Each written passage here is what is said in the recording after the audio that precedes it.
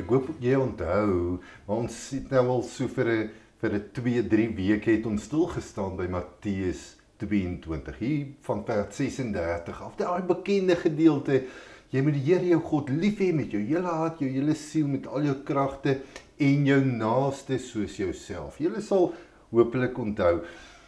Nou ons het verlede week het ons begin met hierdie gesels oor jy moet jouself lief hê Um, en dis 'n goddelike opdrag. Jy moet jouself lief hê want God het jou geskep, nie vanuit jou prestasies of wat jy het nie, maar vanuit omdat God jou wonderlik ges geskep het. Daarom moet jy jouself lief hê.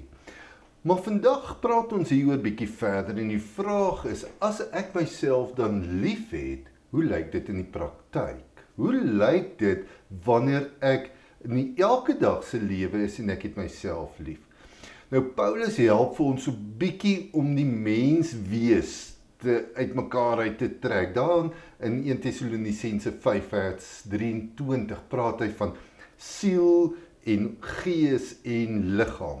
Nou oor die oor die gees het ons lekker gesels aan die begin van van hierdie reeks. So ek wil vandag net stil staan by hierdie twee. Liggaam en siel.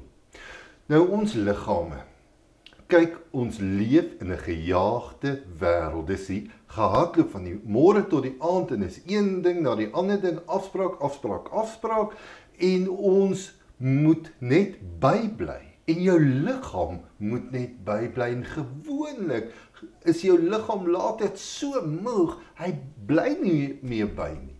En daarom as ons onsself liefhet vanuit hoe God dit bedoel het, dan moet ons ook liggaamlik na onsself kyk. Ons moet kyk hoe ons eet. Ons moet kyk dat ons genoeg oefening kry. Ons moet kyk hoe ons spanning hanteer. Ons moet vir ons liggame moet ons sorg. Ons moet hom oppas. So dis die eerste ding, kyk na jou liggaam.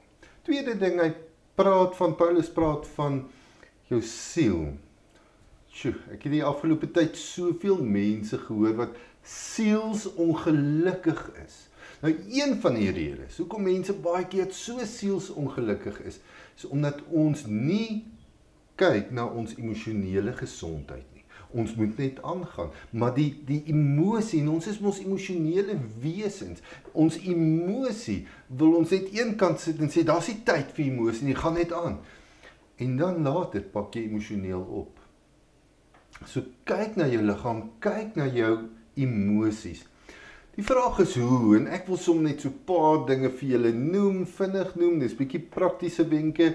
Dis goedheid wat ek probeer. Baie van hulle kry ek nie reg nie, maar maar ek weet dis goedheid waaraan ek ook moet werk. Die een ding ons as jy werk, kry vir jou 'n plekkie waar jy, kom ons sê dit in aanhalingstekens bietjie kan ontsnap. Daar waar jy vir vir 'n 5 of vir 10 minute vir jou koffietjie kan gaan maak en jy gaan sit op hierdie ons ontsnap plekkie en jy haal net diep asem. En jy laat sak 'n bietjie jou skouers en jy jy sê net vir jouself ontspan net vir 'n oomblik.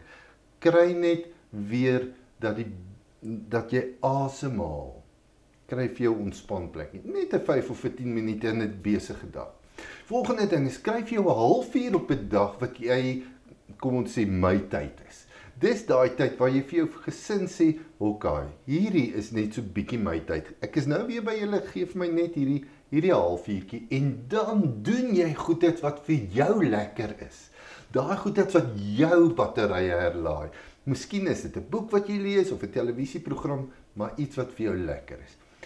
Volgende ding is skryf vir jou tyd om saam met jou hartsmense te kuier. Maak tyd om saam met jou hartsmense te wees. Lag uit jou maag uit. Lewe. sien die mooi raak. Daar's soveel lelik, maar daar's soveel mooi. sien die mooi raak. Probeer om sover as wat jy kan die negatiewe te vermy. Probeer hierdie goedheid, maar die belangrike is wees lief vir jouself omdat God jou gemaak het en leef. Lewe met 'n rede bediening word moontlik gemaak deur die vriendelike eienaars en personeel van die volgende besighede: